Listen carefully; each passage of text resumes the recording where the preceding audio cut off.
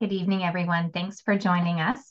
Um, my name is Lauren Bryant, and I'm the project manager for the Back Bay Fens Pathways Project for Boston Parks. Thank you all for joining us tonight. Um, before we jump into the presentation, I just want to go over a few how-tos and what to expect tonight. Um, we did not have any requests for interpretation for tonight's meeting, so the meeting tonight is going to be in English only. Um, we do want to be able to hear all voices, and we're able to offer translation and interpretation services free of charge when they're requested. Um, so if this is something that you're interested in for future meetings, please feel free to reach out to me. My email address is lauren, L-A-U-R-E-N dot Bryant B R Y A N T, at boston.gov. And I'll put that in the chat for you guys in a few minutes. Next slide, please. Also want to make sure that you all know that tonight's meeting is being recorded and it's going to be available on the project website within about a week or so. Um, this is what we've done on all of our other meetings as well. So if you've missed any of the past ones, you can always go back to the project website and see those as well. Um, and if you have any friends or neighbors who aren't able to join tonight, please feel free to let them know and they can check that out as well. Um, I'll also put the project website in the chat for you guys in a minute as well. Um, we want to make sure that we hear your thoughts tonight. That's why we're here. Um, so there are going to be several ways that you can engage with us tonight. Um, we're going to be sharing a presentation and then we're going to have an open discussion at the end. Plus we have our chat function, so you can always add comments or put questions into the chat as we go. Um, if you um, aren't familiar with Zoom, the chat function, if you look at the bottom of your screen, there's an icon with three dots with the word more next to it. Under that, you'll find the chat. So you can click on that if you want to.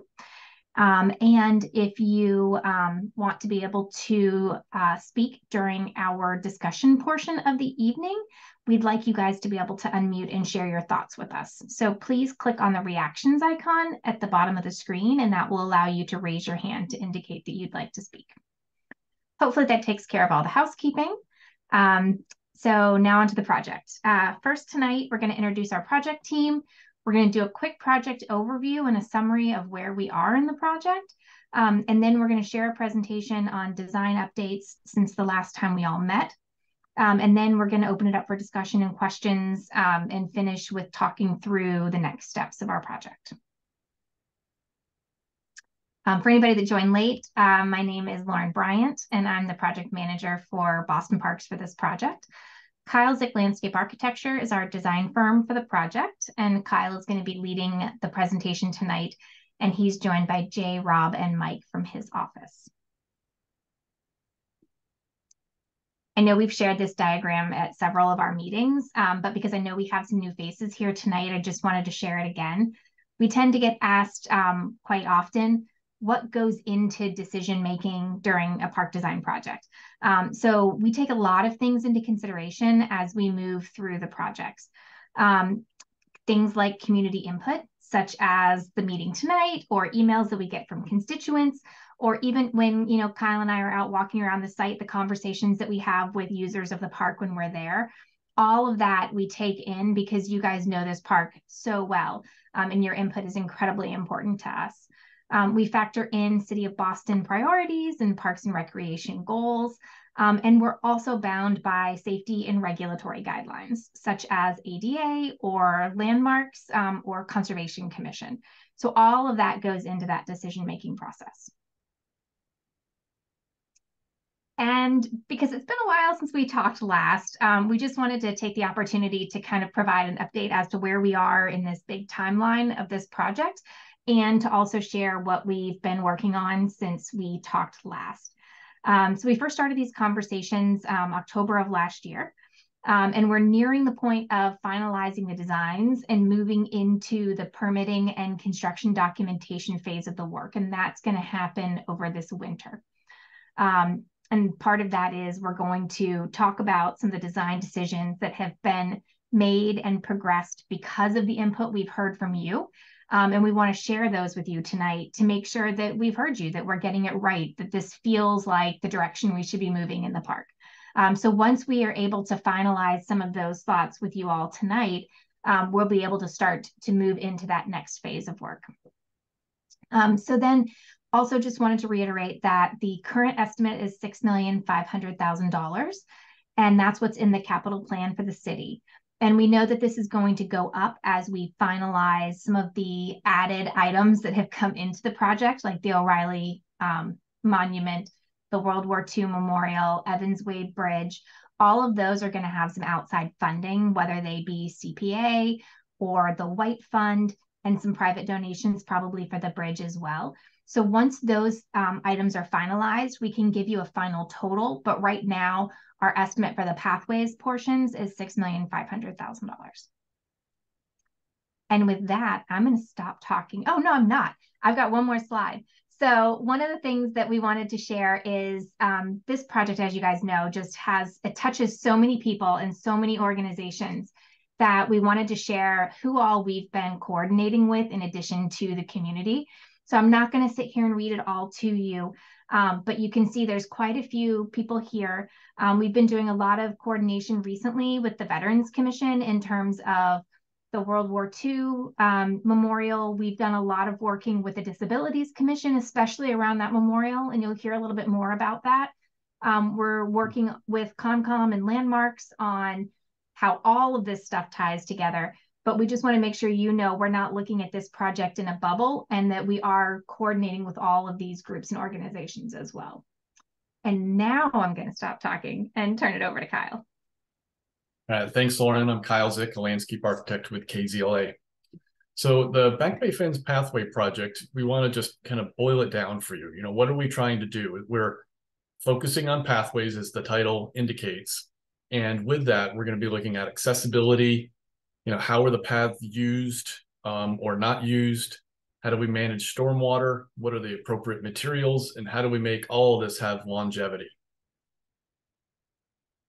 So just for orientation, um, this is the Back Bay Fens Park. We've got the Fenway on the lower side. You've got Park Drive, Agassiz Road cutting through.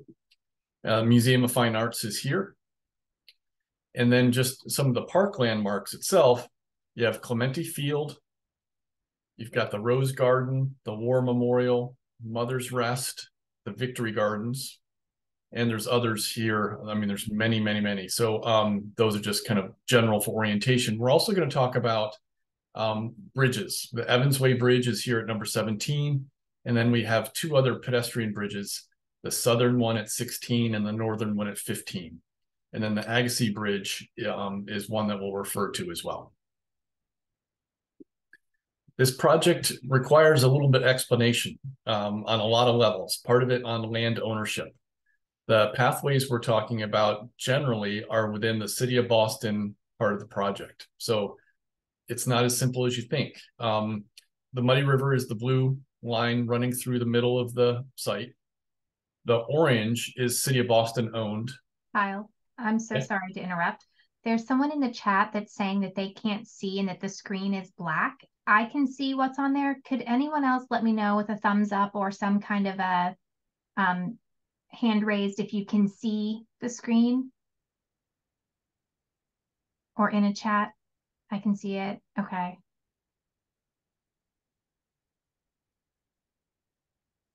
Okay. Um, I'm just going to try to see if we can just really quickly, I'm sorry, everybody, to see if we can um, help problem solve for Diane real quick. Diane, I'm going to ask you to unmute and then see if we can talk you through this. We just want to make sure you can see too. Diane, are you able to unmute?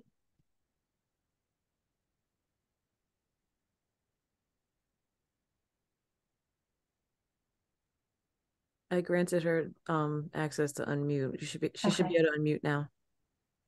Diane, can you let us know if you can unmute and also to see if we can make sure you see now? It says the host has unmuted you.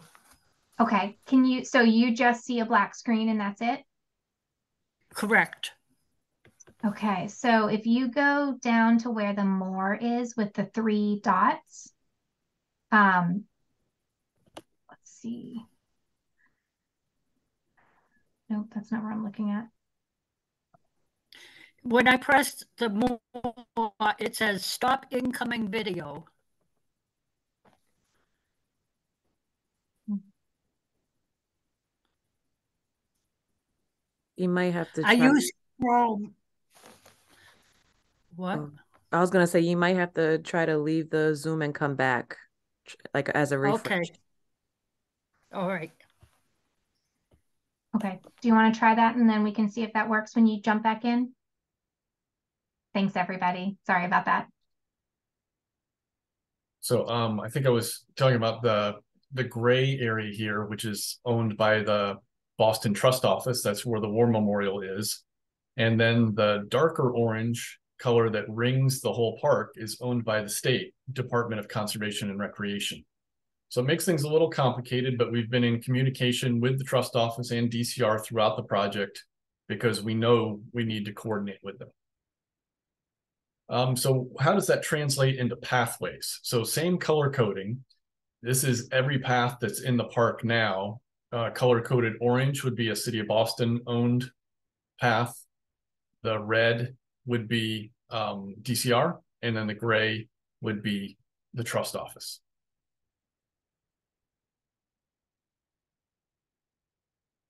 And in addition to just having multiple landowners, we also have um, environmental permitting that we need to be aware of because of the Muddy River that runs through the park.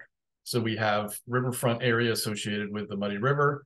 We the green areas are uh, bordering vegetated wetlands, which have buffer zones, and then we have a floodplain as well, which is this dashed red line. So all of that says that almost every part of our project area is under the jurisdiction of the Massachusetts DEP and the Boston Conservation Commission. So the areas that wouldn't be would be uphill of the floodplain along Park Drive here, or a little bit of uphill near the um, the Fenway. So then, what is our pathway scope? Um, we we've looked at every single pathway within the park, DCR owned, Boston owned, trust office owned, and not every path needs to be reconstructed, and for multiple reasons. So what you're seeing highlighted in red are paths that we are planning on reconstructing. If they're in green, the Army Corps rebuilt them as part of the Muddy River Phase 2 project. And then the gold color on the outside are DCR paths. And then this kind of greenish beige color are paths that are in good condition and don't need to be replaced. And then take that one step further, only focusing on the paths in the Boston Park. The ones in the gold color are ones that we would repave or reconstruct basically in their current alignment. We might change the width, but the alignment's going to be the same. The ones highlighted in red, these smaller segments, are ones that are new paths. And why are we doing that? Mainly for accessibility. The southern footbridge, these two diagonal paths are to create an accessible route. Just west of there are two paths that are related to the circulation we're anticipating with the future Evans Way Bridge, but also it reflects desire lines that we see there now. Um, up here by the field house, this is a route that the maintenance vehicles take and wear a path into the um, lawn and earth. And in the Victory Gardens, these are paths leading to public gardens that would need to be accessible. And then also this V-shaped one is an accessible route navigating a big grade change. So then I'm going to go through the site in a bit more detail. So what I've been showing you so far are just very simple diagrams to explain the overall project. But now I'm going to zoom in um, and go through the park in like five or six different views. The Muddy River is the blue color here at the bottom. You've got the northern and southern footbridges, the Kelleher Rose Garden, and the War Memorial off to the side. Park Drive is at the top. Any path that has a gray color on it is one that we're rebuilding and I'll differentiate if they're a new path in a new alignment or not. But I'll start with the paths. So generally, you know, we're repaving the paths going from the northern footbridge to Jersey Street and to Park Drive, and also out to Park Drive along uh, near the War Memorial.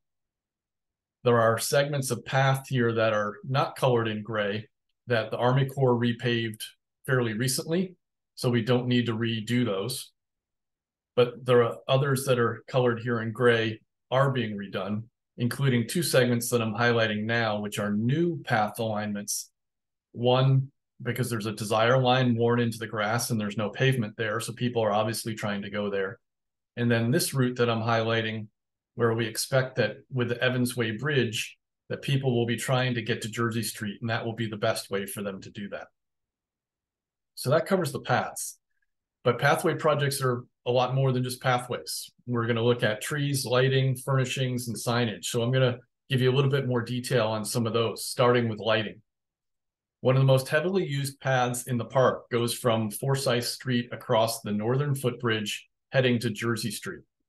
There's no lighting along that pathway, at least for this portion of it. So these orange dots are new lights that we would add because the lights right now go uh, basically along the path that's near the Rose Garden.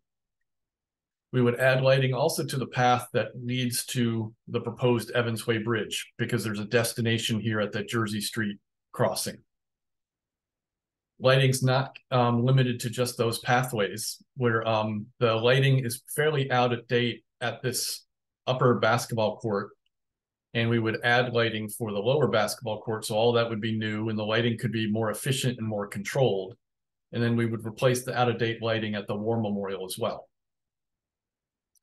Then I want to talk about furnishings. Um, benches, we've got a proposed bench here just toward the end of the rose garden that would have a view toward the river. And then there's a bike rack added near the basketball courts. There's also a drinking fountain added there. I think there's a drinking fountain there now that doesn't work. And then planting, you'll see some green circles here between Clementi Field and the basketball court. That's trying to one, add more tree canopy, but providing a separation from these more active uses in a historic park. So I'll keep going. You'll you'll see as we make our way counterclockwise around the park. Clementi Field is to the right here. This is the field house. The Muddy River is blue, and the Fenway is on the left-hand side, and Park Drive is to the top. So again, the gray colored paths are ones we're reconstructing. Those red dots are proposed lights, which are leading to the Evans Way Bridge, which you'll see in the next slide. The gray colored image um, paths up here between Park Drive and the field house are being regraded and repaved to provide accessible routes and to reinforce the way the maintenance vehicles come in here to serve this area. Similarly, on the Fenway side of the river, you're seeing some red lines here along the gray path.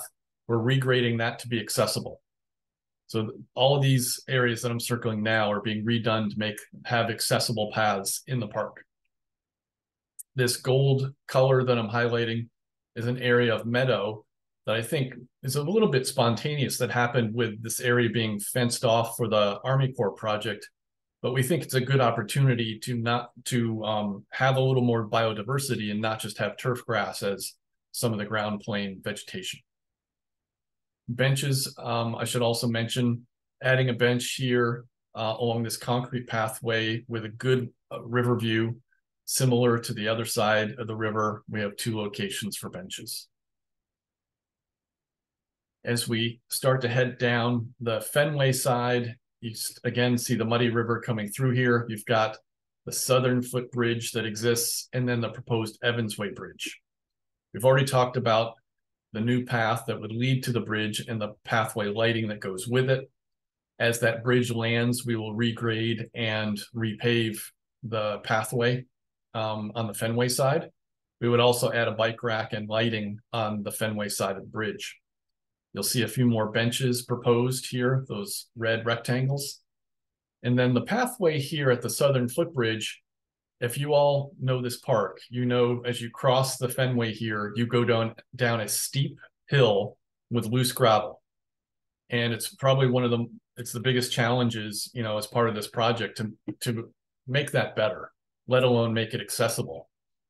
But the direct route that you all walk, um, we would add stairs, make that stabilized, and you could still have the direct route.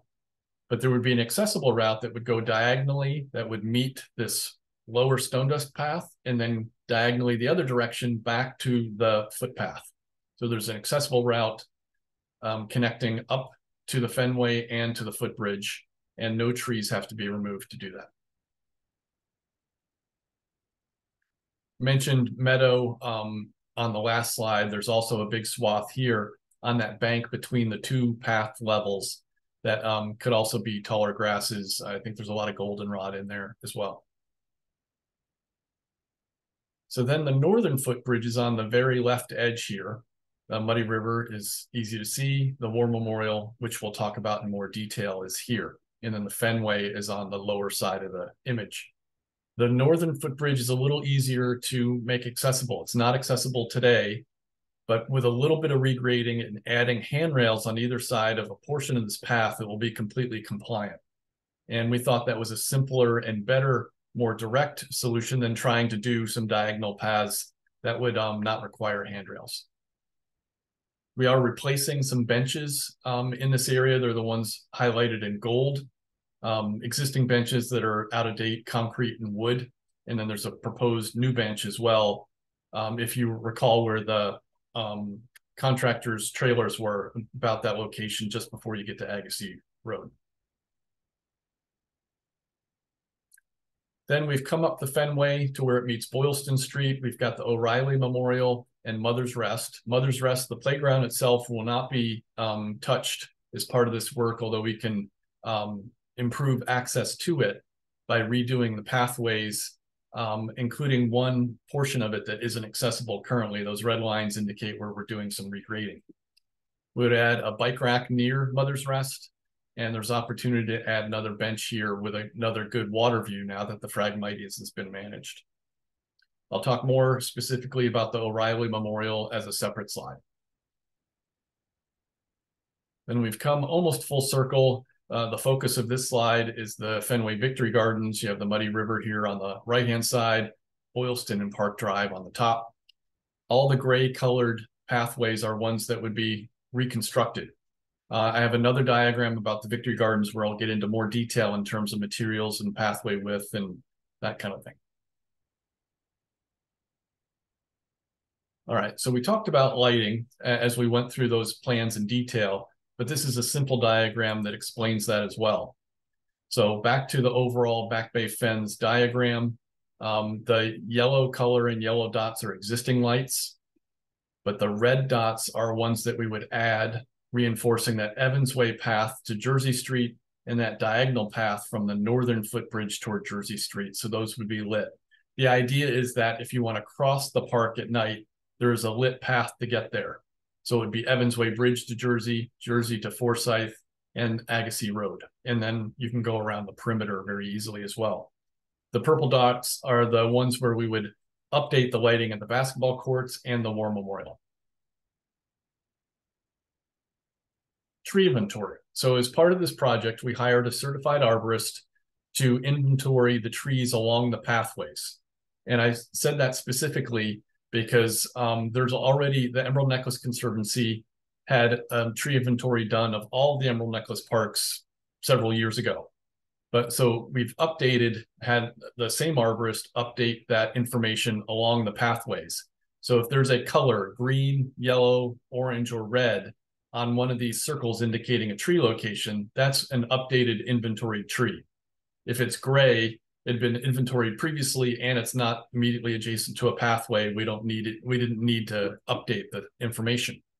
So then in terms of what are you seeing, the, this is summarizing the condition assessment. So green is good, fair is yellow, poor is orange, and red is dead. So um, there's good news and bad news here, but we're going to be looking at each one of these trees also with the Boston Parks arborist to be able to better determine you know, what is the scope for tree pruning? Is the removal of dead trees and those kind of things? So then we can also think about a tree replacement um, recommendation. So then the victory gardens we're going to focus on. Oh, Lauren, did you need? Kyle, um, could we jump back to the lighting diagram? There were a couple questions in the chat um, if we could. Um, one of the questions was, does existing light pole allow for a change in the nature of the lighting fixture itself? Was one of the questions. So um, it depends. Like um, this pathway going from the northern footbridge toward Park Drive, that is a Boston street lighting standard light. So it's a cast iron pole with an acorn top. And that is one of the standard light fixtures that street lighting allows. Um, it's not the only type of light fixture out here. Now there are other light fixtures around the perimeter that are DCR owned, so we can't control or change those. Um, the specialty lighting at the War Memorial and basketball court will be different than the street lighting. And what we would add these orange red dots going to Jersey Street or from Evansway Bridge would be the street lighting standard light fixture. Um, Kevin was clarifying that it's the floodlights that many people object to. Yeah, there's floodlights at the footbridges, and I would even consider what's at the War Memorial floodlighting. So, um, the bridges we're going to have to look at because there's a lot of glare there. Um, and then also, oh, I should have mentioned there's um light fixtures up here in the Victory Garden, which we'll talk about in a minute, that are um, they're concrete poles with what we call cobra heads. They're kind of a uh, more of industrial light fixture, you know, with a metal arm. Thank you, Kyle. And then there was another question that was asking about the lights along row A of the Victory Gardens and whether those would be changed. And for those that aren't familiar with the Victory Gardens, um, it's the path parallel to Boylston from Park Drive to the Boylston Street Bridge. Yeah, that's these here. Um, and so there's um, a series of concrete poles that I was just referring to, and there's overhead wires. So the wires would be put underground, and um, I think the intent is to replace those with the street lighting standard light poles. Thank you, Kyle. I appreciate jumping back to that. Sure, no problem. So um, then a little bit more information on the Victory Garden. So we'll dive into this a little more specifically. I've already touched on the fact that the primary pathways here would be repaved. The one parallel to Boylston and Park Drive, the ones kind of spurring through the Victory Garden, and then the dashed one, which we used to kind of think of as the back to the back of the Victory Gardens when the Phragmites was here. Um, is now going to be front and center. You know, it's a waterfront path. But this one actually is the most problematic because there's the most water. Um, it's the lowest. So we're going to look at that pretty seriously, probably look at um, soil borings and see how we can change the construction of it to be able to take the heavy traffic, heavy traffic in terms of load, maintenance, emergency vehicles, um, compost and trash collection, but also to be a really great pedestrian path. There's other parts of the Victory Garden to talk about other than paths. Well, I, before I get off the path topic, I mentioned this earlier that we're adding a few paths to an accessible garden, to the apiary and pollinator garden, and the herb and medicinal garden. So these are all publicly accessible garden plots that um, need to be accessible. And um, then the only other kind of exception to some of the pathways are um, at the big willow tree in that same segment we were talking about lighting, we would do a flexible material there so that we wouldn't harm the willow roots, which are very shallow and um, high up.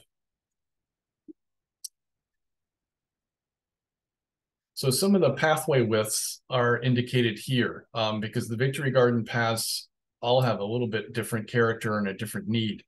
You know, so the colors ranging from that gold all the way up to a dark blue show the range of widths from five feet up to 11 feet. And, you know, it's widest when we have to get maintenance vehicles, a vehicle to pick up a dumpster that's as far as here. Um, and then also would continue out. I'll talk about vehicular circulation in a minute, but also just um, the hierarchy of paths in terms of how many people use them, like those smaller paths that lead to those accessible garden plots or the publicly accessible garden plots only need to be five feet wide while other paths take more traffic and need to be a little bit wider. I mentioned vehicular access. Um, today, the way um, a lot of vehicles enter the garden, and that's for trash pickup, construction, dumpsters, or even dropping off or picking up garden supplies if you're a gardener, you come in at a curb cut right here at this intersection and come into the garden but it's also heavily pedestrian. Uh, uh, it's heavily used by pedestrians, so there's an, a conflict here.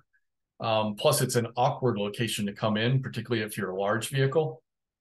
So we're suggesting no different than the way the Army Corps access this area, a curb cut could be added that would be used for that um, infrequent vehicular access, but it would be one way. So particularly like if you're a dumpster, if you're picking up a dumpster, you're coming in here, not at that intersection that's more um, problematic, coming in along the water to the dumpster location that would be here. And we've talked to the folks at the Fenway um, as part of the Victory Gardens, and different dumpster locations had pros and cons, but this one is the most central for gardeners and doesn't get as much neighborhood traffic trash as if it were in other locations.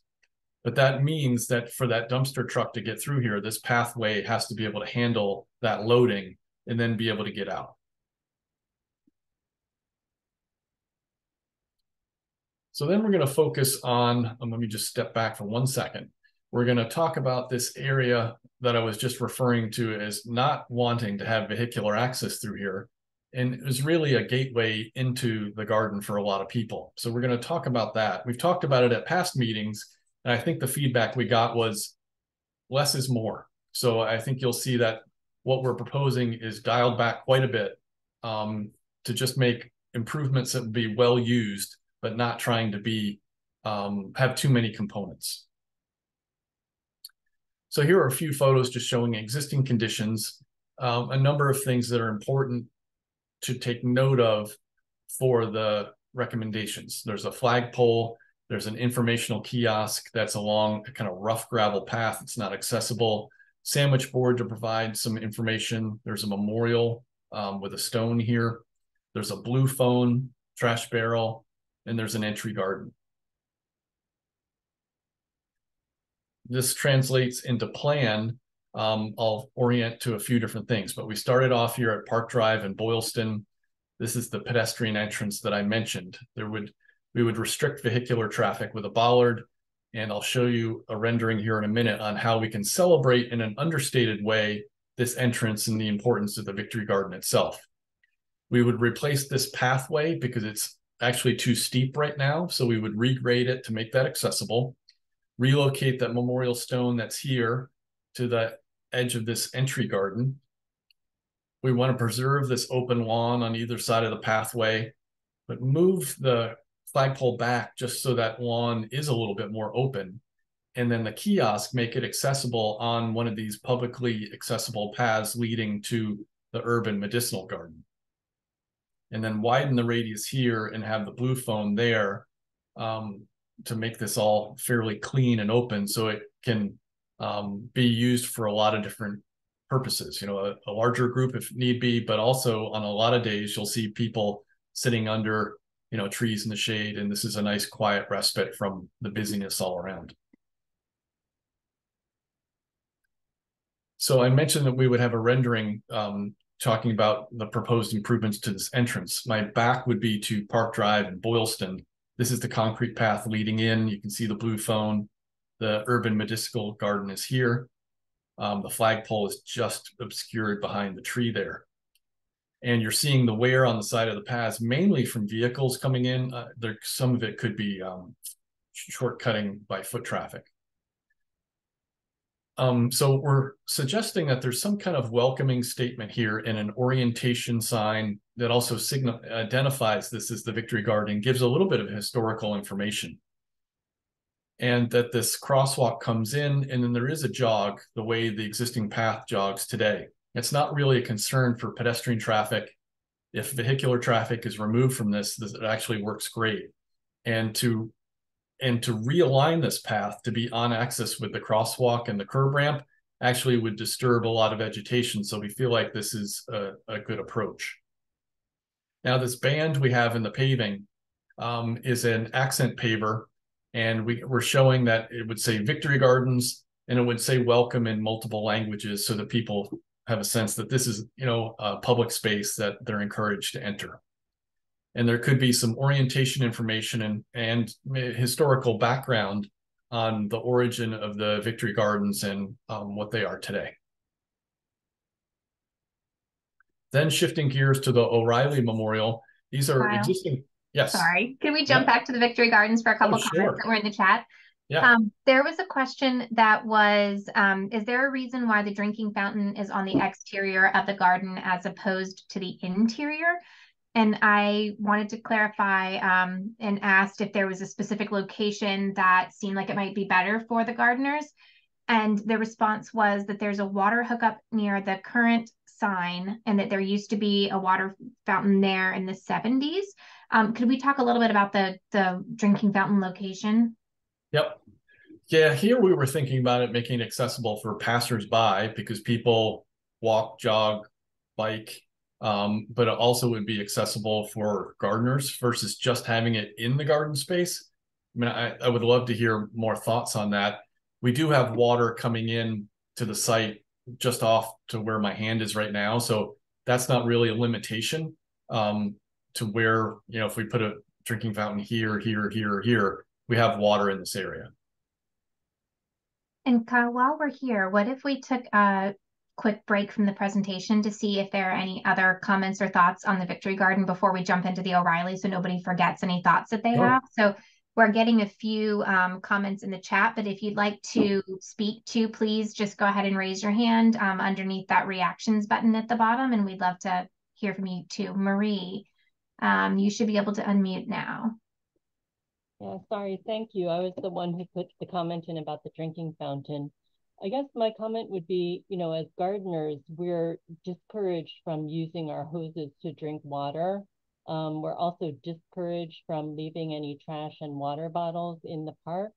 Um, there's hundreds of gardeners there all summer long working in their plots. So, and I think having a water fountain that is in the interior of the garden would give all the gardeners and people like me a chance to fill up water bottles and things. So I don't know. I, I guess I just want to weigh in for putting one in the interior of the garden if possible. Thank you.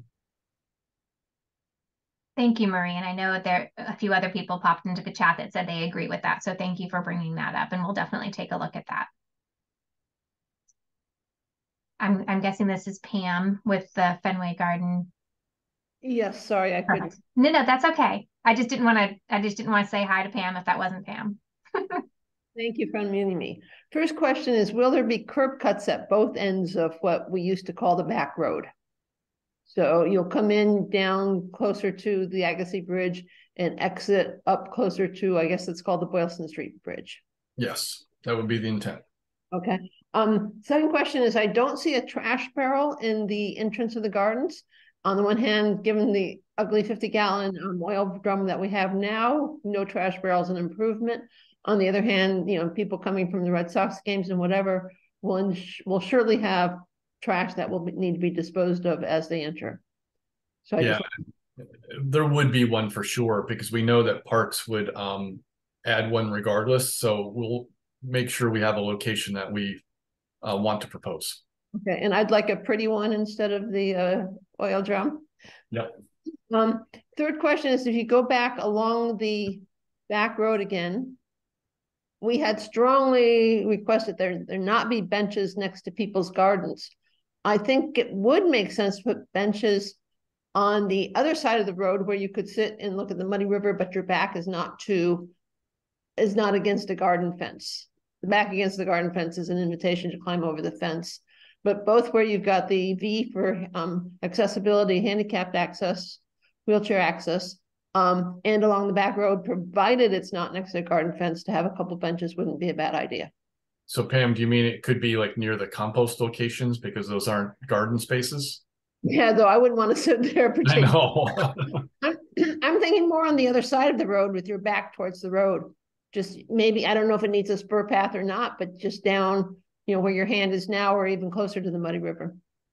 But isn't some of that fenced off? That is fenced off now. My understanding is that it's fenced off for two years, during which the Muddy River Restoration Project contractor is guaranteeing the landscaping. And then that after that, it's the BPRD who decides whether it remains fenced off or not. I'm not positive of that, but I know that the two-year landscaping guarantee is, I'm positive of that. Okay. Okay, um. Okay, and my other question is on one of these Zooms, you had had a much more elaborate front entrance design, and now it's much sim- more simplified. I mean, there was like um an asymmetric stone benches to sit there at the front entrance. Um, has that changed? And it was much more elaborate than that is my main question. And Yep. is- Okay, so this is a proposed design now. Yes, we we um we talked internally with Boston Park staff and they felt like this was probably the most in keeping with the overall Back Bay Fens design character and Emerald Necklace Parks in general. So of those ones we you saw, this was the one they felt was the Okay, right level of intervention.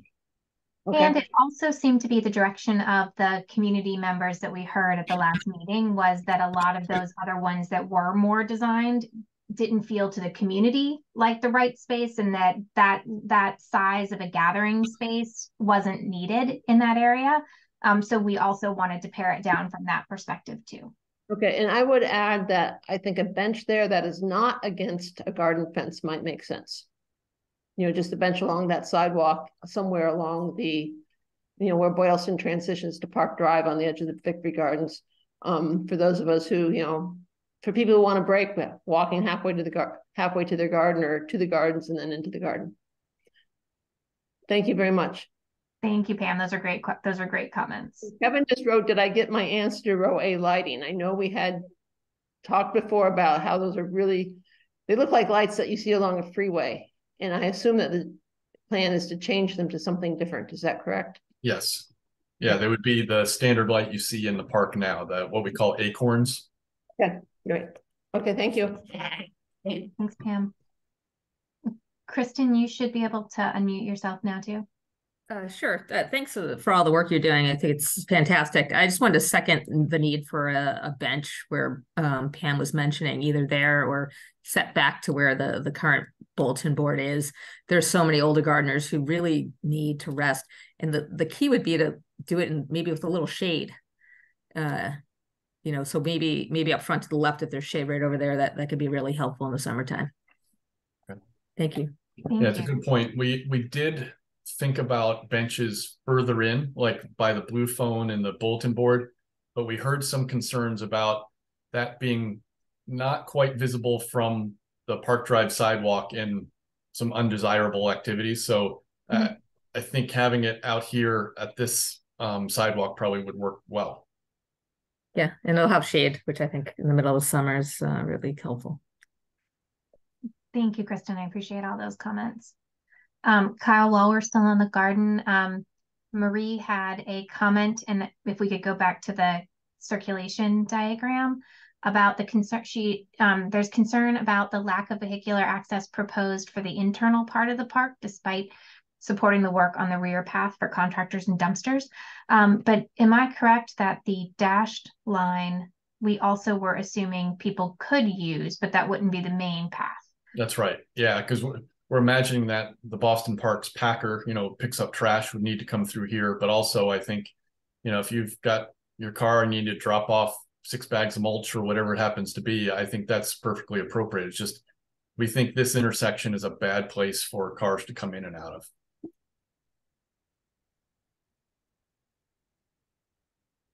Chat. Okay, perfect. Thank you. Um, and Pam, let's see. Yeah, one more comment there. Currently, people certainly drive on the dotted line section, but also along um, row A from the entrance. When you come in, you can turn left or right on BPRD pathway, pathways that are asphalt. Yes, where that hand is going all the way up to the top right.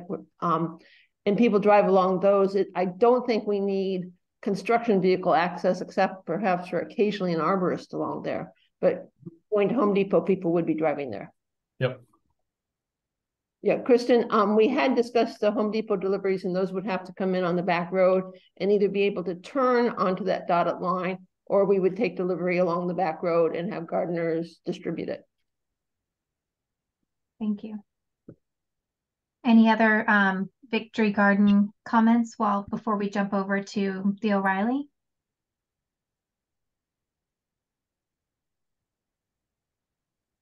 I think we're good, Kyle. Okay. And we can always come back.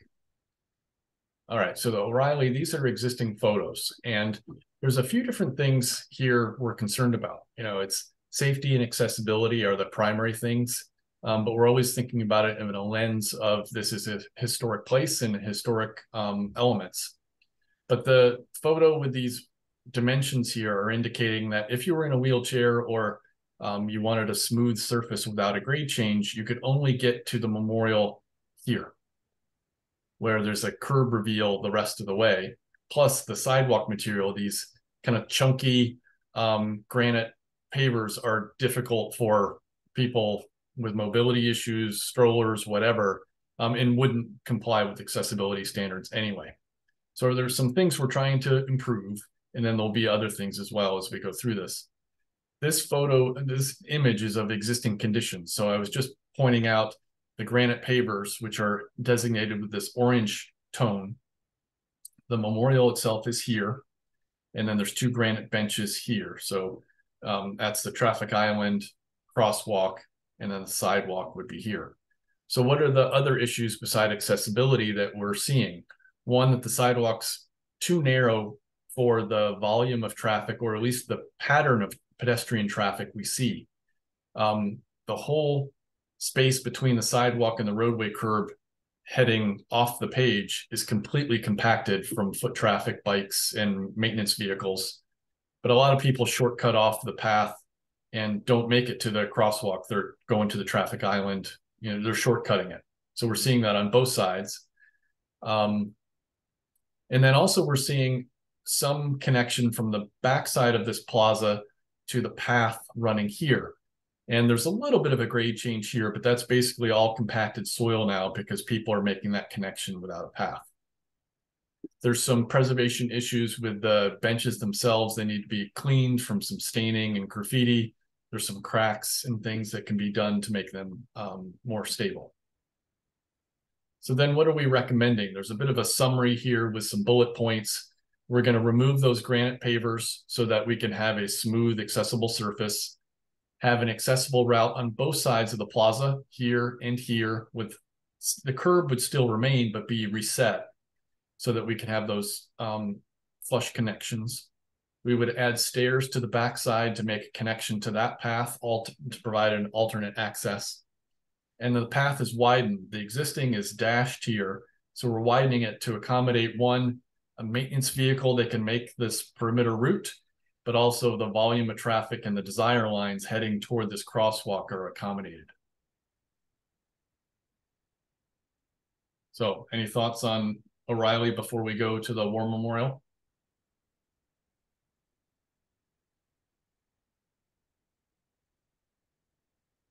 There's a question about the um the, the Cobra lighting that came that is at the O'Reilly. Um, and those, correct me if I'm wrong, Kyle, are DCR lights. The DCR light, and there's a floodlight on it that faces or highlights the the monument. So we're we're in a lot of conversations with DCR about you know all of our overlapping scope. So we're definitely happy to bring that up with them in terms of the fact that we're hearing that people don't like those, and if we could switch over um, to be more consistent with the rest of the park, that that would be something that the community is interested in. So we can absolutely bring that up for sure. Um, let's see. I'm gonna I'm going to go back and forth between people and chat questions. So Marie, do you want to go ahead and ask your question? And then we'll take another chat. I do. I'll try and be quick. Um, this is really exciting. Um, very happy to see it. My concern, so we at Fenway Civic, we're really happy to be able to get some funding for this part, primarily because of the access issues around there. But I think the the funding that we wanted to secure incorporated also some landscaping up upgrades and then also potential uplighting of the sculpture. So my first question is whether that is still planned for as well as part of this. And then secondly, just observing the accessibility, which I think looks so highly improved. The only thing I worry about is we have a lot of bikes now and scooters and skateboards and everything. And I imagine with a beautiful entry in and out of things with stairs, like I would hate to see it be used for jumps and things like that. Is there a way to provide that accessibility while also putting in some tactile things to discourage other types of uses?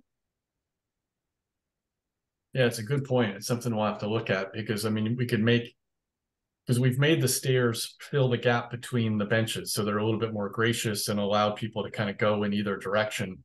Um, and we have handrails on either side. I, I think we'll have to study that to see if there is a way to limit the, you know, the jumping or you know whatever else may happen because of the potential there. Thank you, Kyle. And just going back and forth between the um, the chat, there was a question that says, "What color pavement and can it be light?" Yeah, generally the sidewalks would be concrete, and we think the plaza would be as well. You know, so it would be all similar material. The, the other um, Marie asked a couple other questions that we didn't answer: Oh, the sorry. uplighting or the landscaping. I, I think the landscaping would definitely be part of this, and we have to develop that a little bit further. Um, there's a lot more shade here now than when this if I don't have the historic photo in the slides here, but um, there was quite a bit of perimeter planting. And I think we'd have to be cautious with the perimeter planting anyway from a visibility standpoint and that kind of thing. The uplighting is something that Lauren, we'd have to talk about a little bit more in terms of who would maintain it. Um, particularly if it was in the ground, which is, you know, it's a great way to accent statues, but it's also the place where lights are most vulnerable to either vandalism or water intrusion. So I Yeah. think that's something we'd have to dig into a little bit more. Right, Marie, I think that would be a question sort of like we did at Symphony Park in terms of how does how does something that's out of the ordinary get um, get maintained? But those are good questions for sure. Um, I'm gonna unmute Anna, and while we are give her the opportunity to unmute, and while we're doing that, there was also a question that asked if we could go back to the previous slide. I'm not sure which slide we were on when that came up, so we're gonna try this one. And Rachel, if this isn't the one you wanted to see, just let us know. Um, Anna, are you able to unmute? Yes. Okay, perfect. Thank you so much for this presentation. Um, I am curious just because I travel through this intersection as a cyclist. It's one of the only safe ways to get from the Fenway area of Boylston Street towards the Back Bay. Um, and I love to hear that those stones are going to get removed. I think that'll be nice to make a wider path for everyone. And I'm just curious, you know, what is going to be put in place to help cyclists and pedestrians coexist safely because I think you know having clear signage or indication of where people should be, you know, trying to be. Um, I'm also just curious with I've attended some of the, or I guess the uh, Bowker overpass meeting, and there doesn't seem to be a strong plan for cyclists in this area. So just curious if you have any insight to that as well. So I can start, and Lauren, feel free to chime in. Um, we've had a number of conversations with DCR, who own this perimeter path, including their um, Trails and Greenways coordinator. And you know they don't have any current capital projects for upgrading the perimeter path, but I think you know as we brainstormed and walked them around, they could definitely see, you know, this needs to have an upgrade in terms of thinking about this from contemporary needs for multi-use bicycles pedestrians all the e-devices.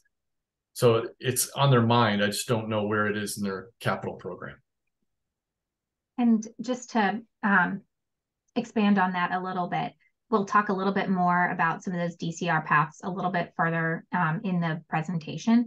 But um, like Kyle said, the because of the property ownership, Boston Parks is not allowed to spend city money on other people's property. Um, so we are working on that coordination, and there's going to be some things on DCR's property that will be done as part of this project through a collaboration but the amount that needs to be done is not something that could be funded out of Boston Parks um, capital funding. Um, but we have been also working with DCR to see what they do have in their um, possible budgets for future years. But we've also been coordinating with the Emerald Necklace Conservancy, who is um, trying to see if they can help with some funding to try to see if we can do it all at once as well so there have been a lot of those conversations in the background trying to help with some of those things Kyle was just talking about. Um, and then Steve, you're actually the next comment in the chat and the next person with your hand raised. So I'm just going to let you ask your question in person if you want to do that. I um I'll add my thanks. There's clearly a lot of thought that has gone into this. I'm actually going to reverse my questions because the last one I had was about at one point in this process there was discussion of adding a speed table to the crosswalk there to the traffic island. I just wonder if that's still uh, under consideration. That's one. Two, uh, the width of the path uh, is is the suggestion. It sounds like, in fact, it's going to hinge on DCR deciding to do this. Um, where you widen that path along Boylston Street is the idea just to completely eliminate the strip next to the street, which is now completely free of vegetation because it's so trampled down. Um, and or if that's not the case, uh, there there is some point at which presumably the wider path along Boylston Street will get narrower to get closer to what the path is continue as it continues along Boylston. So what is the thinking about where that might narrow?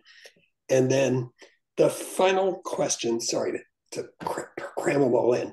Um, there is one of the lovely 50 gallon barrels that Pam referred to earlier behind the benches that is um, often full. Uh, and I'm just wondering if there's if the plan is to maintain some kind of trash and hopefully a recycling bin together. I know the city does that on the common. Don't see why they couldn't do it here. So speed table, width of the paths, and trash barrel. All right, let me start with the speed table and the width of the paths. The speed table was um, not necessarily a speed table. It was we were trying to figure out different ways to make this plaza accessible. And one way to do it was to get rid of the curb, make the sidewalk and plaza all at the same grade. But to do that, the curb ramp and the road would have to come up a bit. It wasn't going to be abrupt to be like a speed table. But it got that was very involved in terms of cost and intervention. So we felt like, and again, this isn't controlled by City of Boston. So by containing this, you know, even some of this is DCR land, this is a little bit easier to achieve and still have a good result. Then the width of the sidewalk, we've got a dimension here, 14 and a half. You can see the dashed line, which is the existing. We are maintaining a bit of that landscape strip acknowledging that it's still going to get worn. But we do have furnishings and other things. Um, and we're also hopeful that with the widened path that maybe it'll take some of the pressure off of that. Your question also about, you know, where does this taper back? That's something we have to coordinate with DCR because our funding, you know, we're going to want to taper this back fairly quickly because we can't, you know, extend this all the way to the Boylston Street Bridge. Um, but we're hopeful that DCR could pick up with this and um, do a little bit more planning in their own respect to see, you know, how they accommodate all the different modes and needs in the volume of traffic here. The trash barrel question, you know, I think you're right. There is one that moves around somewhere in this area. You know, that we could formalize a location that could be a more attractive one that had a permanent pad and would be easily accessible for pickup um, Lauren, I don't know if you can comment on the recycling component. Yeah, un unfortunately, I don't have any updates on that. It's something that I'm continuing to try to push within parks as well. Um, it's something that we don't currently have, and we're working to roll that out. And unfortunately, there just isn't an update of when that's happening yet.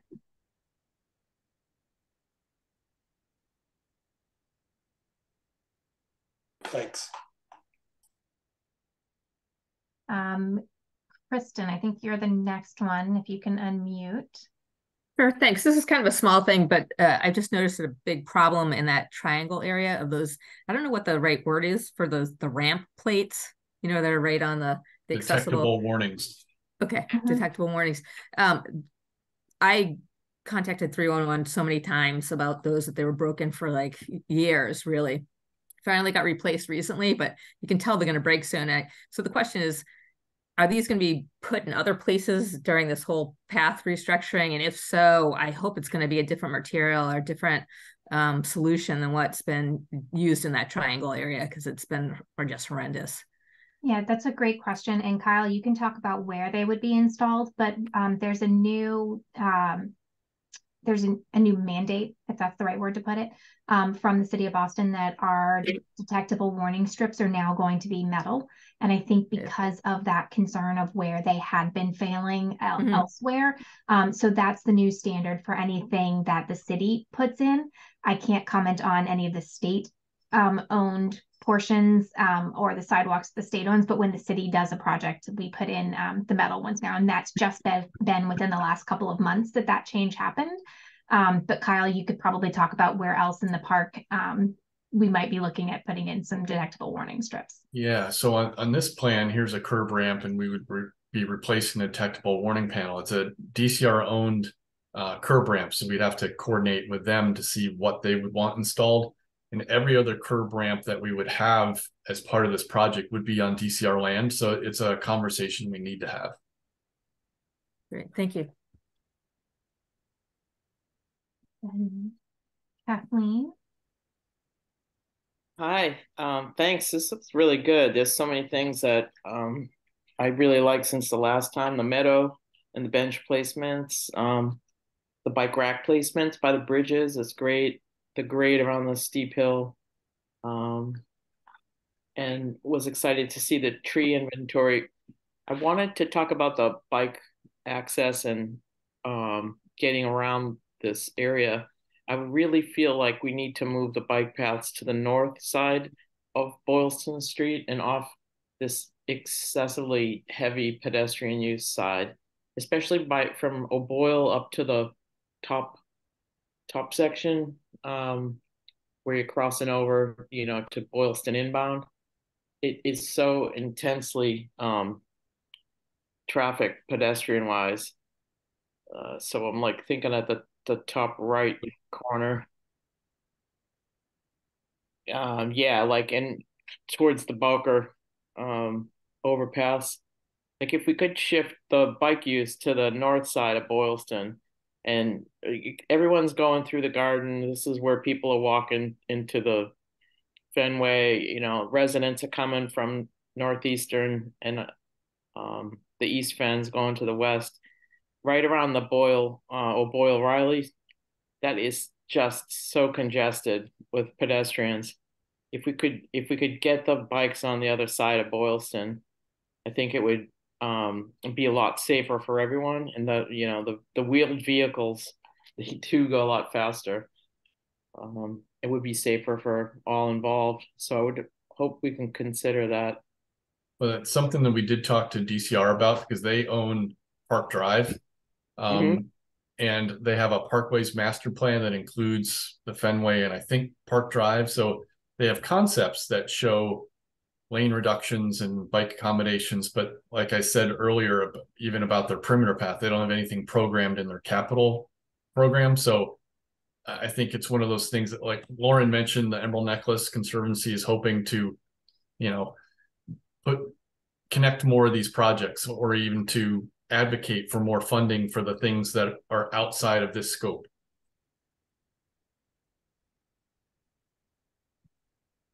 Yeah, and we, you know, this the Bowker um, conversation is going on now as well.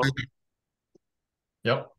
So, yeah, exactly, and that's yeah. that's why yeah, the Emerald Necklace Conservancy is trying to make sure all of those different different projects are all talking to each other, so that yeah. some of those conflicts can can try to be addressed through the projects.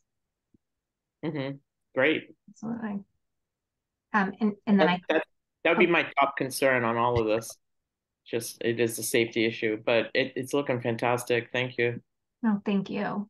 Um, and then Kyle, I think we're caught up in the chat on okay. comments for the Victory Garden in O'Reilly. And if there is something that you put in the chat that I missed, there were a lot coming in. I apologize. So please feel free to stick it back in there um, and we'll get back to it if I missed it somewhere. Right. All right, we're going to shift gears and talk about the War Memorial. So here are existing photos of the War Memorial. Um, some a little bit older because I think this one showing the temporary ramp that's been removed since we took the photo. But um, as I mentioned, this is owned by the Boston Trust Office. It was built with funds from the White Fund. I think it opened in 1948. Um, it was originally a World War II memorial. There's been additions to um, both the Korean War and Vietnam War. But why are we talking about it as part of this project? One, the pathways leading to the side of it will be reconstructed. And then the trust office um, was thinking about addressing accessibility and the pathway conditions and the, the memorial in general. So it started, it became part of this project. So as we started to look at it, there's a number of different things just from a pathway condition. You know, the bluestone paths are in okay condition, but there's a lot of issues, um, accessibility issues, the joints, you know, being tripping hazards. But then you start to look at it more carefully and, you know, why is this temporary ramp here? It's because there is no accessible route to multiple levels of the memorial. So that's when we started to dive into a little bit more. So how do we make the need for a temporary ramp go away and make this a seamless, accessible experience and address all the condition issues? So this is something that we have studied a lot. Um, there's 15 different options we're showing here. I think there were more than this. Um, and I'm not going to go into all of them, but I, I think the I, what I want to convey is that if you look at the any one of these, the existing memorial is this white triangle. It's the raised plinth. There's a circular wall with a podium, and then these radiating spoked paths leading to another outside path, and then the Korea and Vietnam memorials the rose gardens off here to the side. So we basically looked at three different strategies. You know, options one, two, three, four, and six are a little bit more like retrofits. How can we create a path to go to the upper level and the inner, the lower level in an accessible way? But those have an Achilles heel that if you get to one of those levels, you have to reverse course to go to the other level. And that doesn't seem very practical and you may have separated with someone who's able-bodied and can traverse the stairs and that kind of thing. So we are thinking more about universal access. So we looked, we created options five, eight, and nine, which allow you, I'll focus on option five. You can go from this outer pathway and then choose to go to the upper level, but you can also choose to go back to the lower level or, you know, back and forth. So that works, but it still feels a little complicated and added on. So then we started to color outside the lines a little bit more and say, what if instead of maintaining the levels of the walls and the pathways as they are today, what if we reset some things to remove some of the, the level changes? And that's what these six options on the side are. We start to raise the grade to remove stairs and simplify the access. So I'll walk you through three of these examples to give you a sense of some of the major design differences.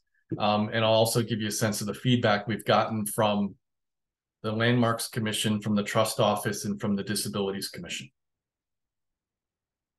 So this first option is one of the ones that I mentioned um, provides access to the upper level and to the lower level. So there's stairs here today and stairs here. So these paths are alternative routes to avoid those stairs.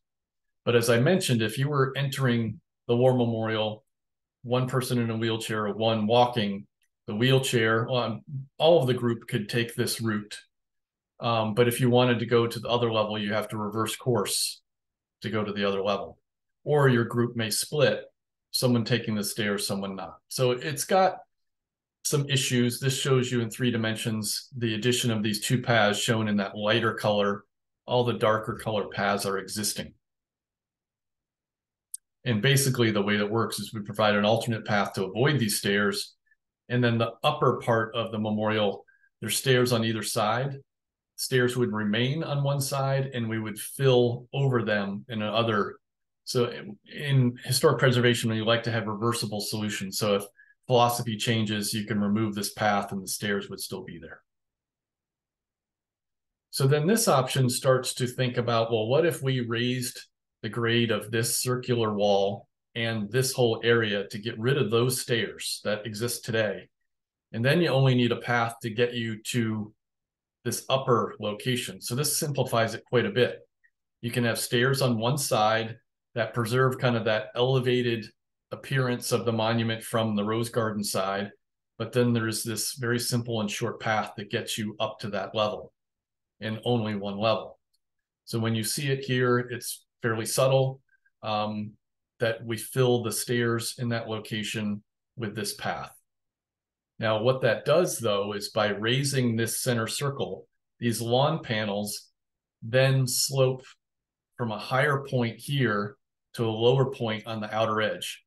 So if you think of this with a large crowd, like an amphitheater, it's working almost backwards. So it's not great if you're standing here and someone's in front of you if you're trying to see a presentation. So then we looked at another option where we broke the rules even more. Um, when I say broke the rules, we're spending more money. So um, here's a case where we can, yes, raise that center circle and regrade the paths, but then have the lawn panels still work from a crowd perspective. And to do that, you have to add walls to the outer edges of these lawn panels. So the three-dimensional view show that more um, more accurately. We have paths that now lead to the memorial itself. The memorial is extended, so there's an accessible route to the podium. The paths are all accessible, and the lawn panels remain flat or slightly sloping inward with these walls that retain the grade. And they actually could be engraved for um, identifying, you know, more recent conflicts or wars or some other memorialization. Um, and as you've, if you noticed from image to image, we've kept these benches here, but there's access to the lawn panels and we've removed this bench so there's access to the lawn panel as well. So it's um a summary of a lot of a lot of work we've done on the war memorial. I mentioned, you know, what are the feed what's the feedback we've gotten. Generally, um, those those first options that I mentioned that were get you to each level but don't connect are not viewed as well, um, even though they're you know less expensive, but don't really provide universal access or you know or is practical either. Um, these options that start to raise the grade are more preferred from the D Disabilities Commission and the Trust Office. Um, Landmarks has not seen this last one yet, but we're trying to have a meeting soon with Conservation Commission, Landmarks, Disabilities, and the Trust Office all at once so we can talk about everyone's different viewpoints. I mentioned the fill, but I didn't talk about the viewpoint of the Conservation Commission. So as we bring in fill to make all this happen and remove these barriers, we're filling in floodplain. So we're going to have to compensate and excavate in other locations local to the memorial that will be equivalent to whatever fill we place. Um, and we've done that study; it's all doable. Um, but you know, this is, as you can tell, as we've gone through the presentation tonight, this is probably the most complicated aspect of the project at this point because there's so many competing factors from preservation, accessibility, and um, environmental issues. Kyle, the one thing I did just want to say um, is that when Kyle was talking about the fact that we have not um, run all of this by Landmarks and Conservation Commission yet, um, we have had a lot of meetings with the trust office um, because this is their um, property. Um, and we've had a lot of conversations with the Disability Commission, and we've also had conversations with the Veterans Commission. Um, and all three of those um, groups have been very um, impressed with this option 3NR, which is, you know, what we're hearing in the chat. People seem to be um, very in favor of as well. Um, so what we wanted to do is be able to, you know, get sort of a consensus from those groups, talk to the community, make sure that, you know, everyone that we're talking to here seems to be on the same page. Um, and then that way, whenever we have that broader conversation with Landmarks and Conservation Commission, we've been able to have all of that input from all of those groups so that we can we can all um, come together on this. But like Kyle said, it's very complicated and has a lot of um, we've come a long way with it, but we still have all that permitting to get through as well. Um, and we also had a question in the chat um, that is, can you remind us of the lighting plan for that space? Yep. Yeah, so we want to replace the floodlights that there's two floodlights that exist now because one, they're out of date and they're also like inappropriate for this kind of space. They were there. I mean, it's it's floodlighting that provides improved safety. Now we haven't gotten into all the details of it yet because I think there's so many variables we're looking at otherwise.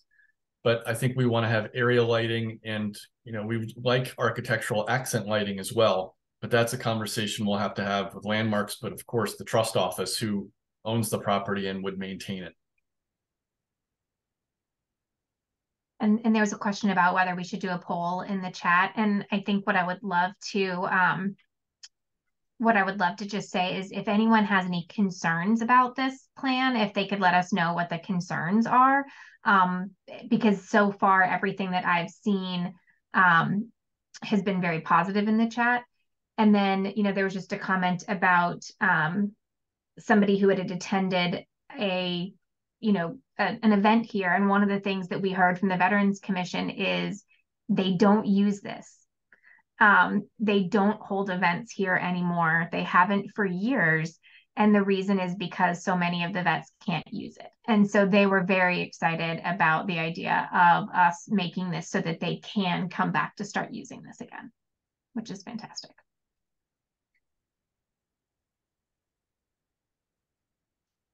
any other thoughts, concerns, um, questions on the War Memorial? And and I agree, Richard and Steve. That's one of the things we really wanted this to be was to not feel like an afterthought and not feel like a retrofit, and to really see if we could make this space feel and look like it fits here and it's respectful of everybody that wants to be able to use it.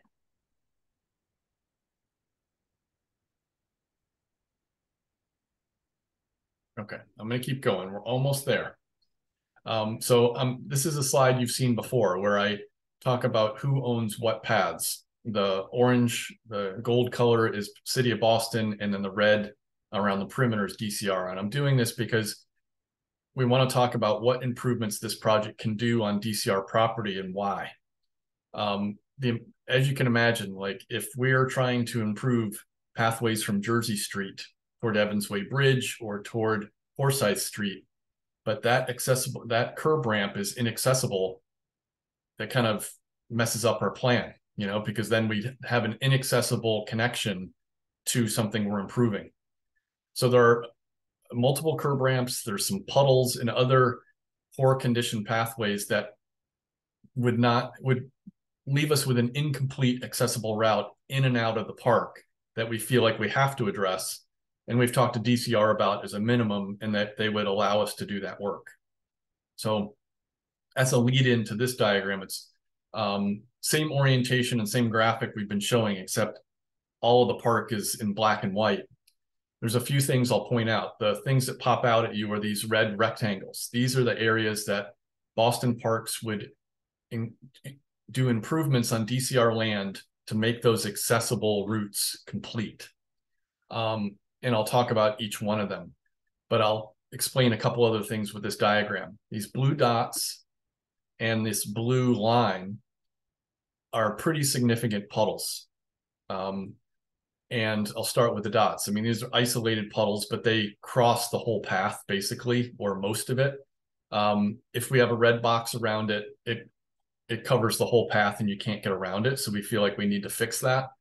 Um, but we're also we've conveyed all this to DCR so that hopefully they can do some interim repairs, let alone a larger project. The um, blue line is that stone dust path that has granite curbs on each side that really doesn't have good drainage relief. So when it rains or when snow melts, it's more of a canal than a pathway. And you'll see the wear and tear on either side of that because people avoid the wet spots and go to higher ground. Now that's not something we can tackle. I mean, that's a fairly big project on its own. Um, but we've talked to DCR about it. They understand the issues, and um, it's something that um, they want to look into.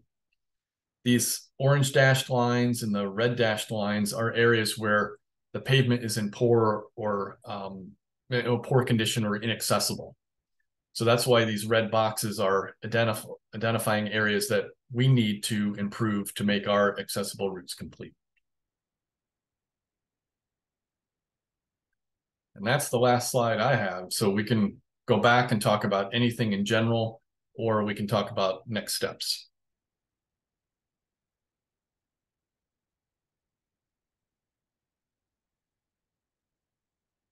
Marie, you should be able to unmute. Um, thanks again. This is a lot. Uh, it was a huge presentation and super exciting to be able to see it. I have a few questions and comments about things, some of which weren't talked about and some which were. Um, so I'll just go by area. In the Victory Gardens, there is one place um, on the rear path as you're approaching the Boyle Street, Boylston Street Bridge that has a grouping of trees. And there's currently a problem with vehicles parked in and around tree roots. So I guess one of my questions is, are you planning to implement any type of measures around those areas to protect trees? So that's one question.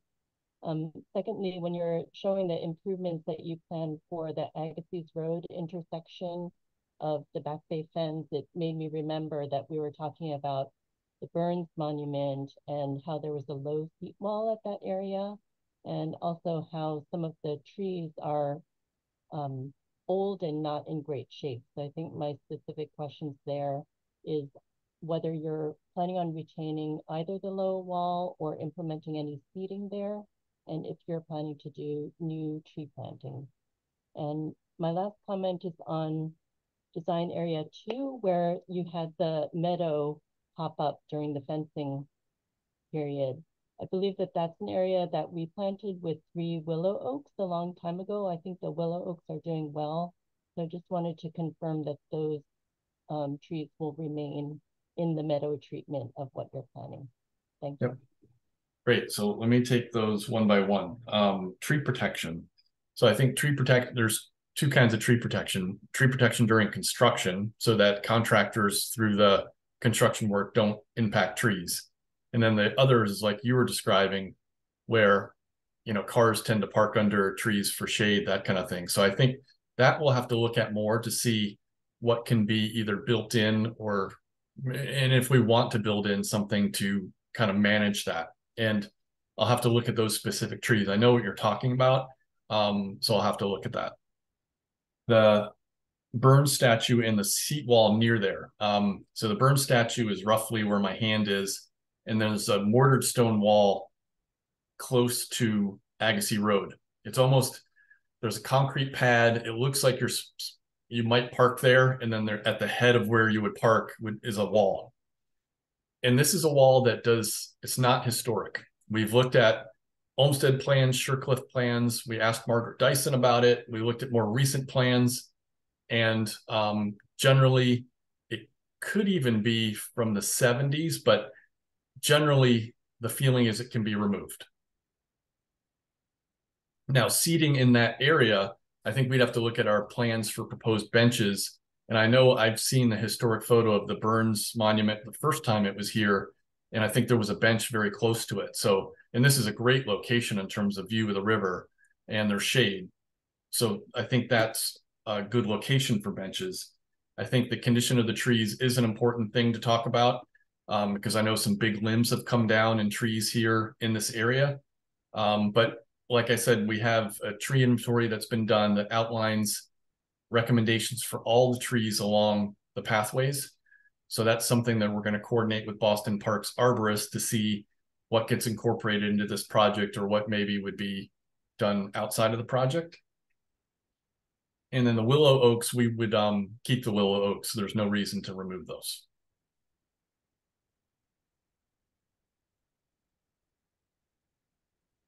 Is that all of those? I don't want to jump in before you were done. That covered all of them, right, Kyle? Yeah. Okay. Um, there was a question in the chat um, that was asking about would the benches be age friendly? Um, and yes, we do make sure that our benches do meet that age friendly. Um, we they have backrests and they have armrests um, we also make sure that they um, have a companion space next to them for wheelchairs as well. Um, so thank you for asking that one, Leslie. I appreciate that for sure. Um, and then Pam, I think you're next if we could have you unmute. Okay, so first of all, thank you both so much. This has been really wonderful. Um, some questions, I don't know if it's relevant, but I'm wondering if the tree map included the Arbor Day plantings on the edge of the Victory Gardens and Jack from ENC is, I think, still on the Zoom and could give you that info if you need it. Hi, Jack. Um, my next question was, is there a bike rack included in the Victory Gardens um, redesign? And if so, where? Good question. So the I'll start with the trees. I think um I gotta actually double check to see if we would have included those. We're certainly aware of them. We work with Emerald Necklace Conservancy all the time. So um I'm aware of that new planting. I don't think we would have had those inventoried, but I'll double check that. And then the question of the bike rack, I am thinking if we do have a bike rack proposed,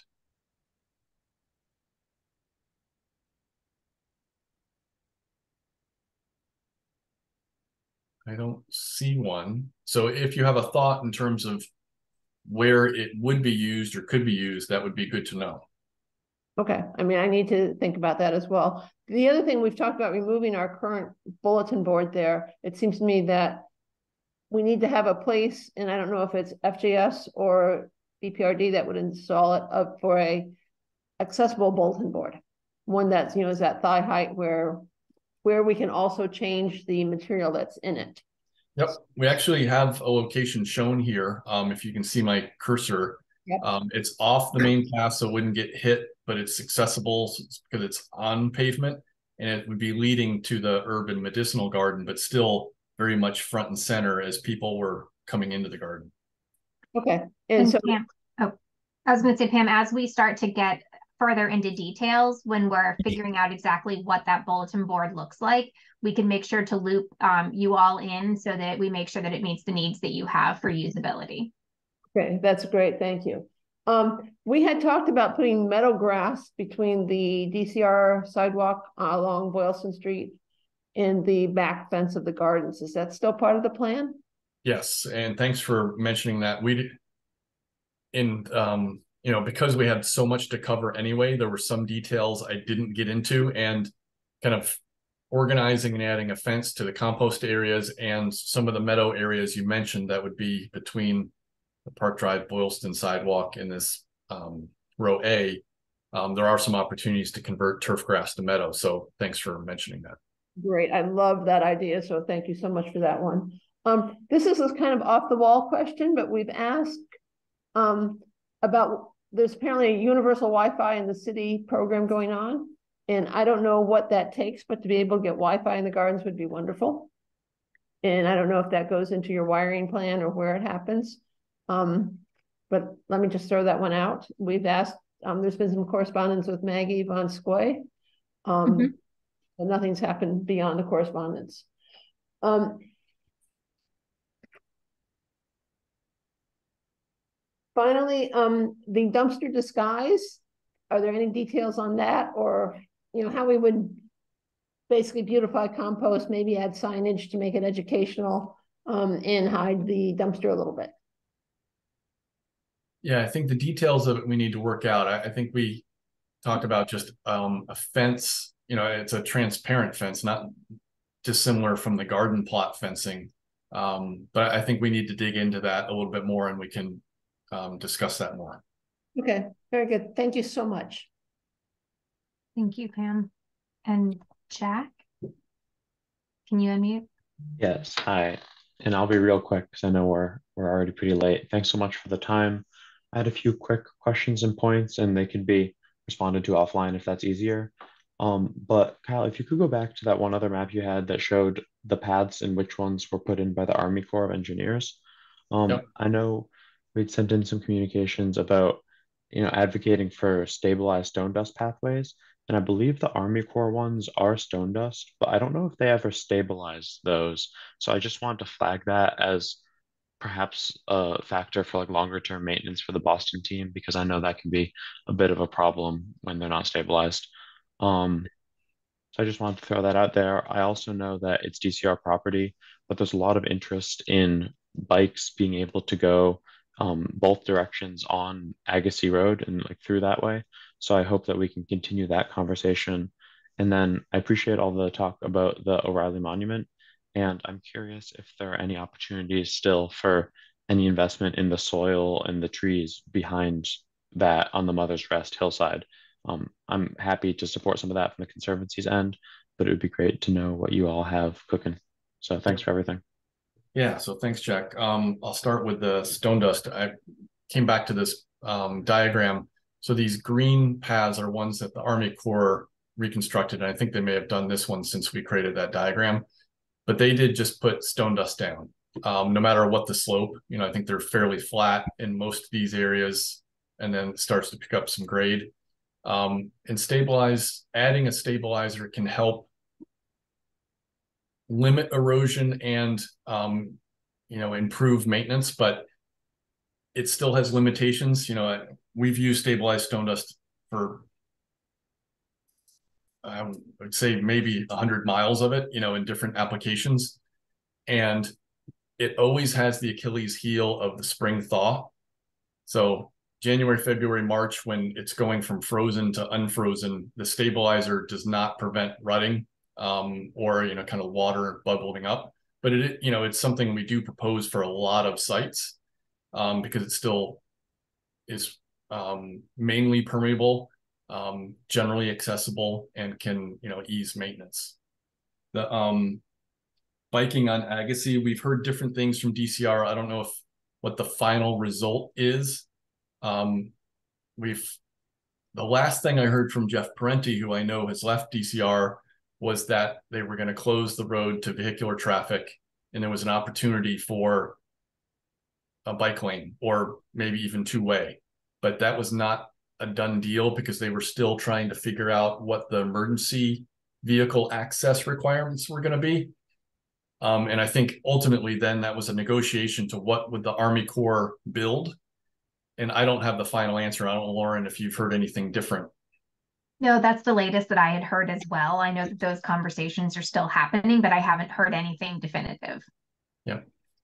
And then Jack, your last question about the slope and the soils and the trees by the O'Reilly, that's something that's still in our mind. And I think as we advance the designs after tonight, that's something we're going to look into and see, you know, how far can the money go and what can we do? Because there are some things that we haven't gotten in a lot of detail yet, or we haven't even um, shared, you know, tree planting we touched on in a few locations, you know, the um, tree work. Um, so I think that is a level of detail that will be coming soon. Perfect. Thank you, Kyle. And um, Kyle, we've got one more slide right? about our next steps. I just want to be respectful of everybody's time too. Um, so yeah, so we just want, I wanted to say thank you to everybody. I know this is a lot of information and I appreciate you sticking it out with us. Um, and I, and like Kyle said, I know we didn't get to everything, um, every little detail, but we wanted to at least let you guys know where we were and what we have been working on since we talked last. Um, so next, like Kyle said, we're going to take all this feedback and start to finalize the designs and jump into the permitting and approvals, um, and then start to work on our construction documents so that we can bid this. Um, we also are going to continue to work on the Evans Way Bridge, which we didn't talk about tonight. Um, and because that's a much more complex um, beast with permitting and with landmarks and with funding um, that hasn't been allocated yet, that's not going to continue on that same pathway um, at the same time as the rest of the project. So everything we've talked about tonight is going to kind of be like, think of it as phase one. Um, and then the bridge is going to end up being phase two. So we'll continue to work on that. And then what we'll do is in a couple of months, our hope is to be able to come back for what will be the final pathways meeting um, to talk about this is what we're actually doing. These are the final decisions. Here's the time frame, the schedule, all of those things, and then to give you an update as to how the Evans Way Bridge is progressing. Um, so again, really appreciate everybody's time tonight. Um, and you know the presentation will be on the website. And if you think of anything or have any other questions, feel free to email me as well. So thank you, everybody. Really, really appreciate your time.